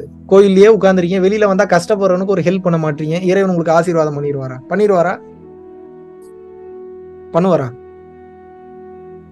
உங்க பொண்டாட்டி உங்க பிள்ளைய மட்டும் நல்லா பாத்துக்கிறீங்க. ரோட்ல எவன் எப்படி போனா எனக்கு என்னன்ட்டு போறீங்க. அதுக்காக ரோட்ல போற எல்லாத்துக்கும் போய் உதவி பண்ணுங்கன்னு சொல்ல. அட்லீஸ்ட் ரோட்ல இருக்கிற ஒருத்தர் ரெண்டு பேருக்காவது உங்களால என்ன பண்ண முடியுமோ அதை பார்க்கணும்ல. இப்போ இந்த ஹோட்டல்ல நான் தங்கியிருக்கேன். இந்த ஹோட்டல்ல தங்கியிருக்குமே எனக்கு ஃபுட்டு கொண்டு வந்து கொடுத்துட்டு போறாங்க. ஃபுட்டு கொண்டு வந்து கொடுக்குறதா தான் அவங்க வேலை. இந்த ஃபுட்டுக்கு நான் பில் பே பேமெண்ட் பண்ணிடுறேன். ஓகே கொண்டு வந்து கொடுத்தான்ல. அவன் ஒரு உயிர் தானே. அவனுக்கு என்ன பண்ணலாம்? ஒரு பதினஞ்சு ரூபா டிப்ஸ் கொடுத்துருவோமா? ஒரு இருபது ரூபா. பதினஞ்சு இருபது ரூபா வச்சு என்ன பண்ணுவாங்க? இப்போ நீங்க சர்வரா வரீங்க எனக்கு ஃபுட்டு கொண்டு வந்து கொடுக்குறீங்க பதினஞ்சு ரூபா டிப்ஸ் கொடுத்தா நீங்க ஏத்துப்பீங்களா? நாம் செய்யக்கூடிய உதவி டிப்ஸாக இருக்கக்கூடாது. அவனுடைய வாழ்வாதாரத்துக்கு ஏதாவது செய்யணும். அப்போ என்னன்னா என்கிட்ட ஒரு ஐயாயிரம் ரூபா பணம் இருக்குன்னு வச்சுப்போம் வெறும் ஐயாயிரம் தான் நான் ரொம்பலாம் பேசல. ஒரு ஃபைவ் தௌசண்ட் இருக்குது இன்றைக்கி நான் இந்த ஹோட்டலில் எப்போ தங்குவேன்? இன்றைக்கி தங்குவேன் நாளைக்கு காலையில் வரைக்கும் தங்குவேன். அப்போ நான் வந்து இங்கேருந்து செக் அவுட் பண்ணிடுறேன். இந்த செக் அவுட் பண்ணுறக்குள்ளே ஃபுட் ஆர்டர் பண்ணும்போது ஒரு ரெண்டுலேருந்து மூணு பேர் மாற்றி மாற்றி வருவாங்க. வருவாங்களா மாட்டாங்களா? இந்த ரெண்டுலேருந்து மூணு பேருக்கு ஆளுக்கு இரநூறுவா கொடுத்தா என்ன ஆச்சு மூணு பேருக்கு. ஆறுநூறுவா ஐயாயிரம் ரூபா ஆறுநூறுவா கொடுக்க மாட்டீங்களா? இப்போ நூறு நூறுரூவா ஒருத்தனுக்கு கொடுக்குறீங்க. இல்லை ஒரு இரநூறு இரநூறுவா ஒரு மூணு பேருக்கு கொடுக்குறீங்க. அவன் மனசு எப்படி இருக்கும்? எவ்வளவுக்கு எவ்வளவு ஒருவன் மனம் குளிர்கின்றதோ அவ்வளவுக்கு அவ்வளவு உங்களது ஆன்மாவில் இருக்கக்கூடிய படலம் விலகும். ஆன்ம சக்தி வெளிப்படும். அவ்வளவுதான் ரகசியம். ரோட்ல போற ஒருத்தனை சந்தோஷப்படுத்துங்க உங்க கர்மா ஒண்ணு கரையும். வீட்டில் இருக்கிறவங்கள சந்தோஷப்படுத்துங்க கர்மா கரையும். எங்கெல்லாம் மனிதர்களை பார்க்கின்றீர்களோ அங்கே இருக்கக்கூடிய மனிதர்கள் எல்லாம் பணத்தை கொடுத்தோ பொருளை கொடுத்தோ அன்பை கொடுத்தோ அறிவை கொடுத்தோ உபதேசத்தை கொடுத்தோ ஞானத்தை கொடுத்தோ ஏதோ ஒன்று கொடுத்து அந்த மனசை சந்தோஷப்படுத்திட்டீங்கன்னா முடிஞ்சு ஒரு ஒரு வாரத்துக்கு முன்னாடி கார் எடுத்துட்டு போயிருந்தேன். பாலவாக்கம் பீச்சுக்கு போயிருந்தேன். சும்மா போவேன். அப்படியே போர் அடிச்சுன்னா போய் உட்காந்து கடலை பார்த்துட்டு உட்காந்துட்டு என்ஜாய் பண்ணிட்டு அப்படியே அந்த காற்றை வந்து ஃபீல் பண்ணிட்டு அப்புறம் கார் எடுத்துட்டு வந்துடுவேன் அப்புறம் தான் வந்து கார் எடுத்தா கார் நகர மாட்டேங்குது. நான் உங்களுக்கு பெரிய தத்துவம்லாம் சொல்ல என் வாழ்க்கையவே சொல்றேன். எப்படி என் வாழ்க்கை மாறுச்சுன்னு சொல்றேன். இதெல்லாம் பெரிய தத்துவம்லாம் இல்லை. நல்லா புரிஞ்சுக்கோங்க. மெடிடேஷன்லாம் அப்புறம். முதல்ல பேசிக்க புரிஞ்சுக்கோங்க.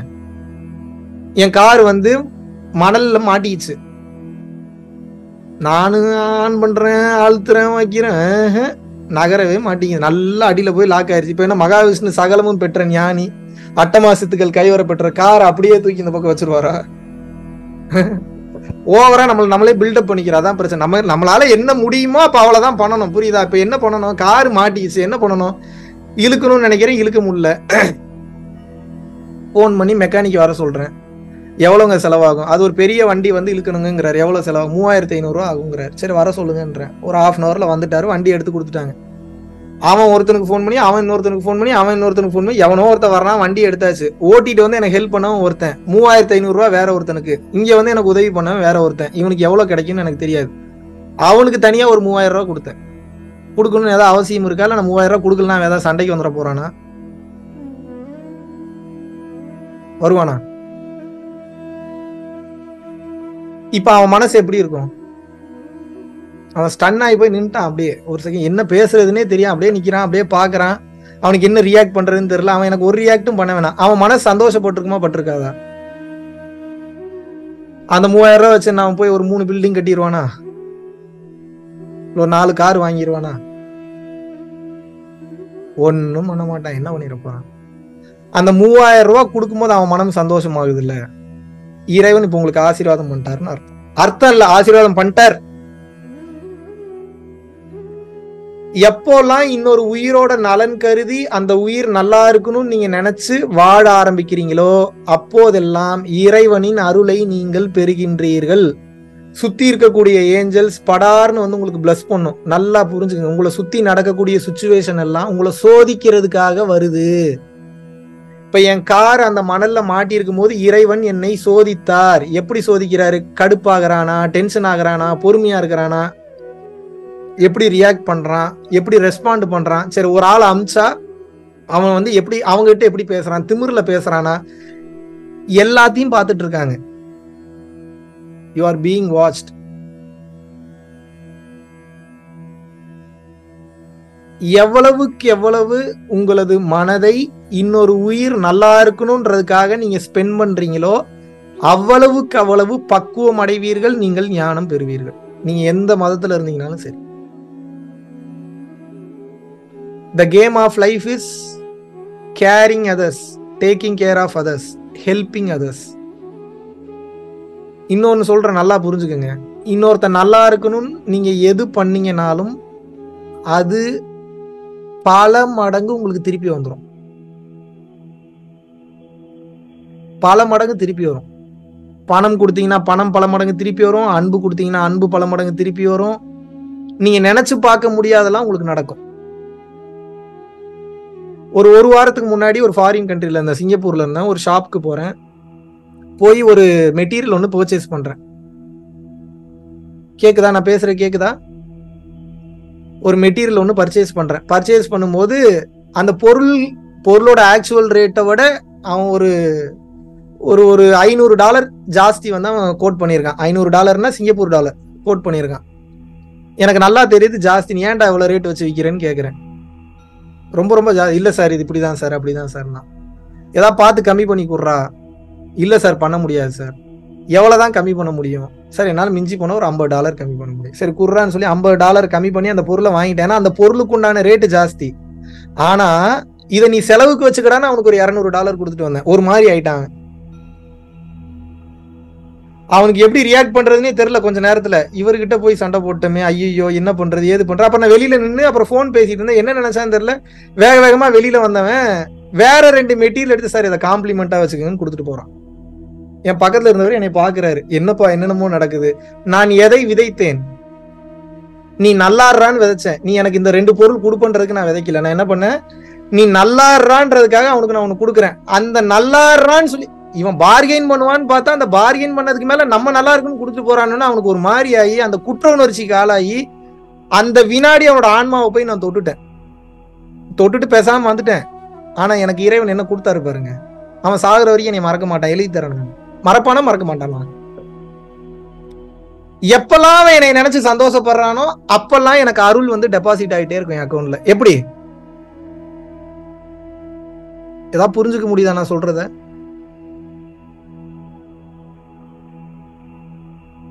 கனெக்ட் பண்ணிக்க முடியுதா? நீங்க எனக்கு எனக்குனே வாழ்றீங்க எனக்கு எனக்குனே வாழ்றீங்கன்னா நீங்களே தான் கடைசி வரைக்கும் உங்களை பாத்துக்கணும் எதிர்பாராத மிராக்கிள் எதிர்பாராத நேரத்தில் நடக்கணும். எதிர்பாராம எனக்கு நிறைய நல்லது நடக்கணும். நான் எங்கேயோ போகணும். நான் உயர்ந்த கட்ட நிலைக்கு போகணும். நான் மிக உயர்ந்த நிலைக்கு போகணும்னா பல பேரோட மனசுல நீங்க இடம் பிடிச்சிருக்கணும். அப்பதான் அந்த லெவலுக்கு எல்லாம் போக முடியலன்னா போக முடியாது.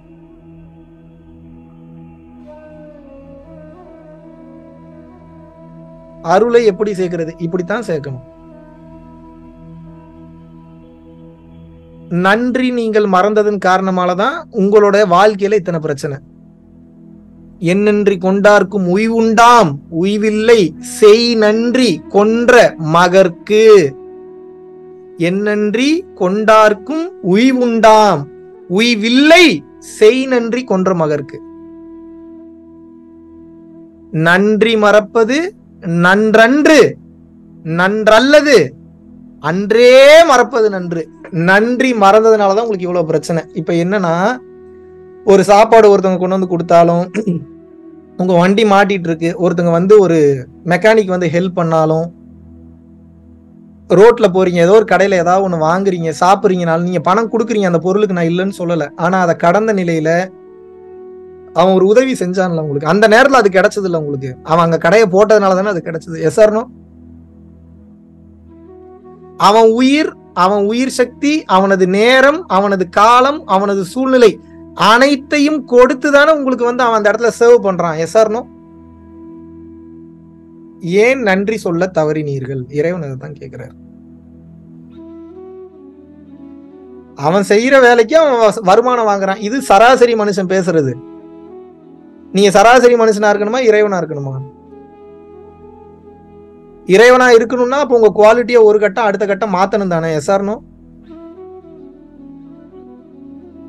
எஸ்ஆர்னோ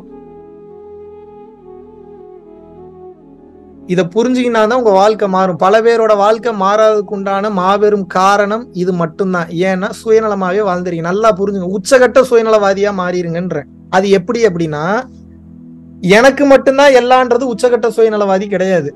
எல்லாத்துக்கும் எல்லாத்தையும் நான் கொடுப்பேன் அப்படின்ற தன்மைக்கு வந்துருங்களேன். நீங்க சூப்பரா இருப்பீங்க. ஏன்? இந்த உலகத்துல பொது நலம் என்ற ஒரு வார்த்தையே கிடையாது. அனைத்துமே சுயநலம் தான் அப்படின்னா என்ன அர்த்தம்? நீங்க இன்னொருத்தன் எது நல்லா இருக்கணும்னு சொல்லி எது செஞ்சாலும் அது உங்களுக்கு பல மடங்கு திரும்ப கிடைத்து விடும் but it will take some time பொறுமையா இருக்கணும்.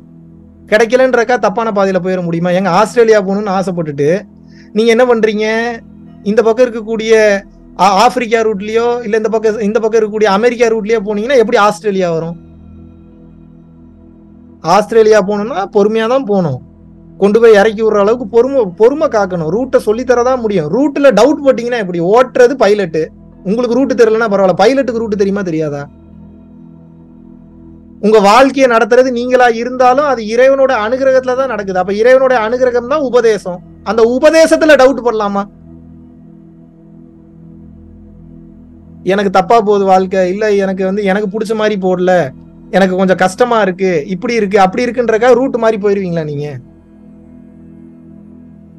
இன்னைக்கு நல்லது பண்ண ஆரம்பிச்சீங்கன்னா குறைஞ்சது ஒரு ரெண்டு வருஷம் மூணு வருஷம் ஆகும் உங்கள் வாழ்க்கை மாறுறதுக்கு. ஒரு சில பேருக்கு உடனே மாறும் ஒரு சில பேருக்கு லேட்டாக மாறும் ஆனால் மாறும்.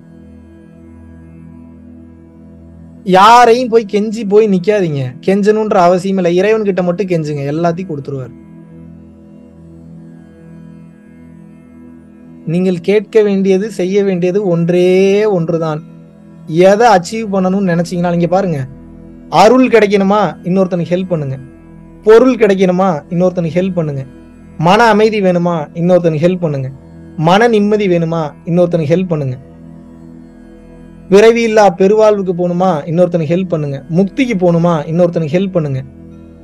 உங்களுக்கு இருக்கக்கூடிய உடல் பிரச்சனை சரியானுமா இன்னொருத்தனுக்கு ஹெல்ப் பண்ணுங்க. உங்களுக்கு இருக்கக்கூடிய மன ரீதியான பிரச்சனை சரியாகணுமா? இன்னொருத்தனுக்கு ஹெல்ப் பண்ணுங்க. உங்களுக்கு இருக்கக்கூடிய வாழ்க்கையில் இருக்கக்கூடிய எல்லா பிரச்சனையும் சரியானுமா? இன்னொருத்தனுக்கு ஹெல்ப் பண்ணுங்க. ஆக மொத்தம் உங்க வாழ்க்கை மாறணுமா? இன்னொருத்தனுக்கு ஹெல்ப் பண்ணாம உங்க வாழ்க்கை மாறாது. எழுதி வச்சுக்கோங்க. அப்படி நீங்க ஷார்ட் ரூட்ல போய் ஜோசியம் பாக்குறீங்க மாந்திரிகவாதியை பாக்குறீங்க எலுமிச்சம்பழத்தை வச்சு உருட்டுறீங்க குங்குமத்தை வச்சு என்னமோ பண்றீங்க திருநூறு வச்சு ஏதோ பண்றீங்கன்னா மாறும். ஒரு டோர் மட்டும் ஓபன் ஆகிற மாதிரி ஓபன் ஆகும். மற்ற டோர் எல்லாம் லாக் ஆயிரும். எல்லா டோரும் ஓபன் ஆகிறதுக்கு ஒரே வழி பிற உயிர்களை தன்னுயிர் போல நீ நேசிக்க தொடங்க வேண்டும். எப்போது பிற உயிர்களை நீ நேசிக்க தொடங்கவில்லையோ உன் உயிர் கரை தேராது. நான் சொல்லல. எல்லா பெரிய ஆட்களும் சொல்லிட்டு போயிட்டாங்க. இப்படி நீங்க இருந்து பாருங்க உங்ககிட்ட இருக்கக்கூடிய எவனும் துரோகி ஆக மாட்டான். அப்படியே ஒருத்தன் துரோகியா மாறினாலும் அவனால உங்களுக்கு பாதிப்பு ஏற்படாது. சத்தியம் பண்ணி சொல்றேன். எப்ப இன்னொரு உயிர் நல்லா இருக்கணும்ன்ற தன்மையோட வாழ்றீங்களோ விசுவாசிகளை நீங்கள் பெறுவீர்கள். விசுவாசி விசுவாசமா இருப்பான். வேலைக்காரன் வேலைக்காரனா தான் இருப்பான். என்னைக்கு வேணாலும் இன்னொருத்தன் இன்னொருத்தங்கிட்ட போய் வேலை பார்க்க போயிடுவான். மைண்ட்ல வச்சுக்கோங்க. வேலைக்காரனை விசுவாசியா மாத்திரணும். விசுவாசிய வேலைக்காரனா மாத்தக்கூடாது உங்க ஆக்டிவிட்டினால எப்ப விசுவாசி நீங்க வேலைக்காரனா பண ரீதியா பொருள் ரீதியா சுயநல ரீதியா நீங்க பார்க்க ஆரம்பிக்கிறீங்களோ அவனுக்கும் அறிவு உண்டு அவனுக்கும் புத்தி உண்டு ஒரு கட்டத்துக்கு மேல தெரிய வந்துடும் இவங்க நமக்கு பணத்துக்காக மட்டும்தான் ட்ரீட் பண்றாங்க. அவங்க சுயநலத்துக்கு செல்ஃபிஷ்னஸ்க்கு மட்டும்தான் நம்மளை பயன்படுத்துறாங்கன்னு தெரிஞ்சதுன்னா அவன் வேலைக்காரனா இருப்பான் இன்னொருத்தன்ட்ட போயிடுவான் உங்களது ரகசியங்கள் உங்களிடம் இருந்து பறிபோகும். சிம்பிள் எத்தனை பேத்துக்கு புரியுது?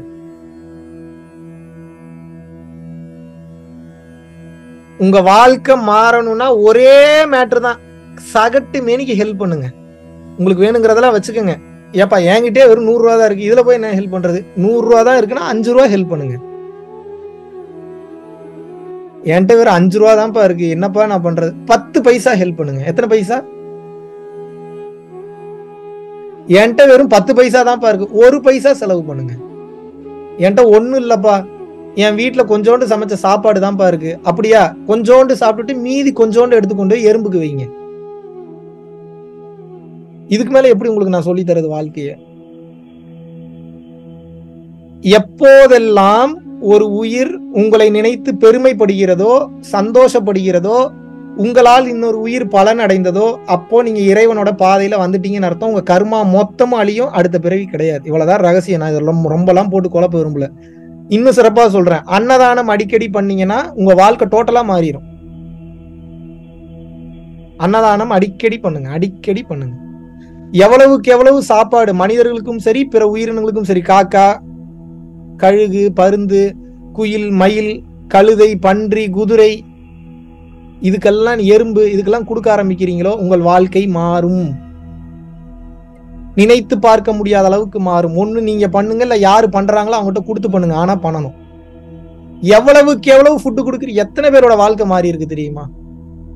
எத்தனை பேரோட வாழ்க்கை மாறி இருக்கு? நினைச்சு பார்க்க முடியாத அளவுக்கு மாறி இருக்கு. குழந்தை இல்லாதவங்களுக்கு குழந்தை கிடைச்சிருக்கு. பிசினஸ் எங்கேயோ போயிருக்கு. ஃபேமிலியில இருந்த ப்ராப்ளம் சால்வ் ஆயிருக்கு.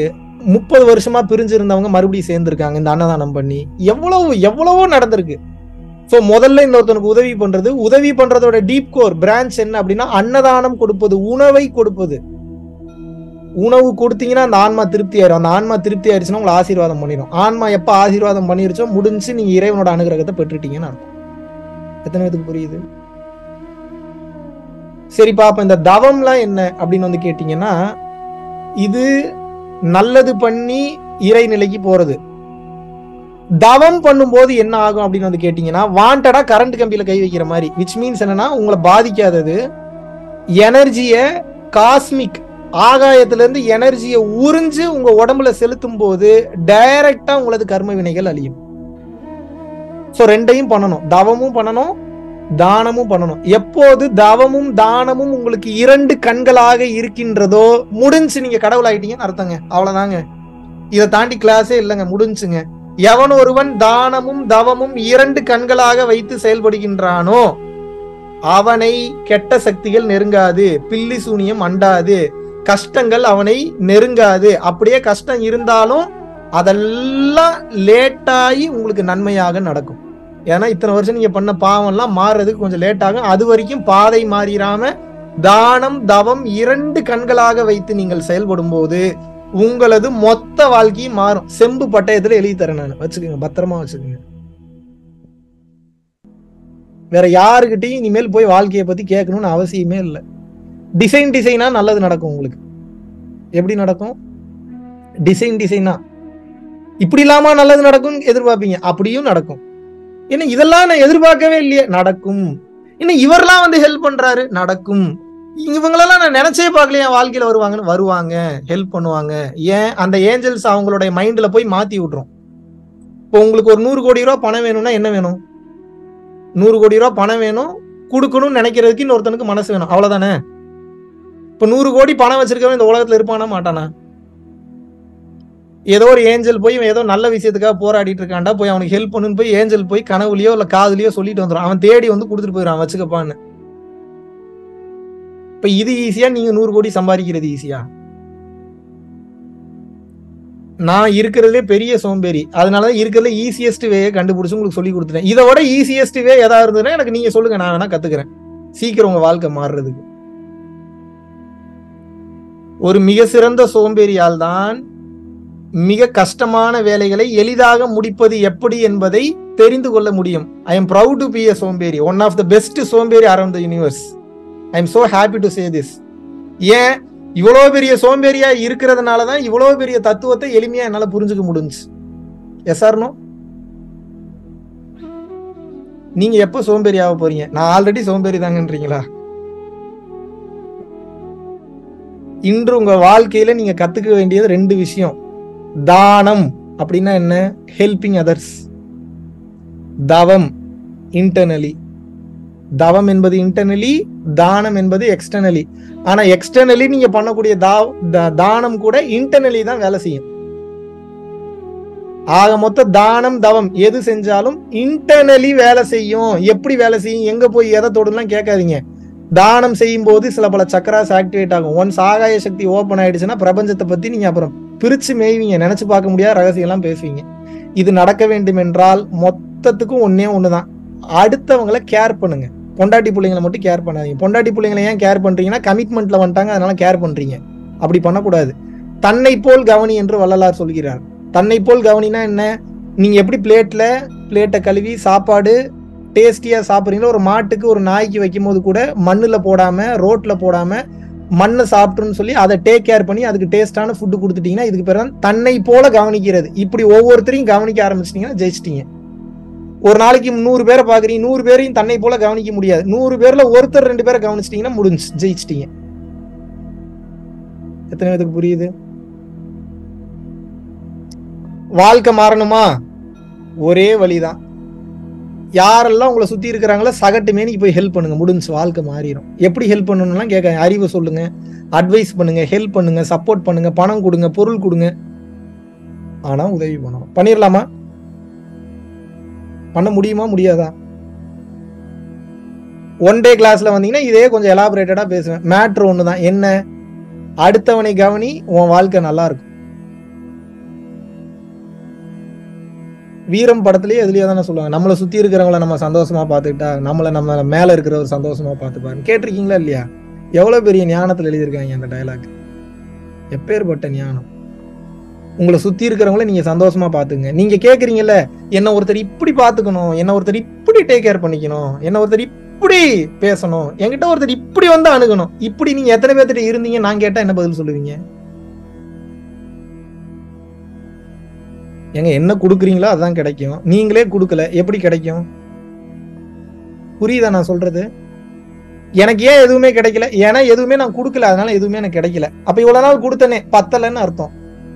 இன்னும் எவ்வளவு நாள் கொடுக்கணும்? கேட்கவே கூடாது. அப்ப என்ன பண்ணணும்? கொடுத்துக்கிட்டே இரு. சரி கொடுத்துக்கிட்டே இருக்கேன் கிடைக்கல அப்படின்னா கடவுள் மேல நம்பிக்கை இல்லைன்னு அர்த்தம். ஒருவேளை கிடைக்காம போச்சுன்னா கிடைக்காம போச்சுனாலும் கொடு. ஆக மொத்தம் என்ன பண்ணும் கொடு. யார்கிட்ட கொடுக்குற பரம்பொருள் ஃபவுண்டேஷனுக்காக கொடுக்க சொல்கிறாங்களே உங்கள் ஏரியாவில் உங்களுக்கு தெரிஞ்சவங்களுக்கு உங்களால் முடிஞ்ச அளவுக்கு போய் கொடுங்க. கொடுக்க கொடுக்க வாழ்க்கை சூப்பராக இருக்கும். இது சரியாக பேசுகிறேனா இல்லை ஏதாவது தப்பாக பேசுறேனா? இப்படியே உருன்னு பார்க்குறீங்க பேயை பார்த்த மாதிரியே பார்த்துட்டு இருக்கீங்க. மாத்திரலாமா வாழ்க்கைய? ஒருவேளை சாப்பாட்டுக்கு வழி இல்லாமல் இருந்தவனே இறைவன் இன்னைக்கு ஸ்டார் ஹோட்டலில் தங்க வச்சிருக்கிறாரு. என் வாழ்க்கை மாறி இருக்கு. உங்கள் வாழ்க்கை மாறுமா மாறாதா? ஸ்டார் ஹோட்டல்ல தங்குறது ஒரு பெரிய ஒரு மாற்றம்னு சொல்ல வரல. உங்களை பொறுத்த வரைக்கும் அது ஒரு பெரிய வளர்ச்சி. அப்படித்தானே? அதனால சொல்றேன். அதோட இறைவன் எனக்கு நிறைய கொடுத்துட்டாரு. என்னென்னமோ கொடுத்துட்டாரு. நீங்க நினைச்சு பார்க்க முடியாதெல்லாம் கொடுத்துட்டாரு. எதனால கொடுத்தாரு? தயவு கருணையில இருந்ததுனால கொடுத்தாரு. இல்லைன்னா கொடுத்துருக்க மாட்டார். கிளியர்